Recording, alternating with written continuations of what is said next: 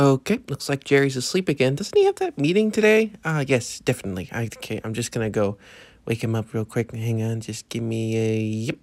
And then we're gonna just uh, wake up. Oh my lord, that was on my second stomach. Why'd you do that, you jerk? All right, you're awake for your meeting now. Okay, I'm just gonna walk away. Don't eat me.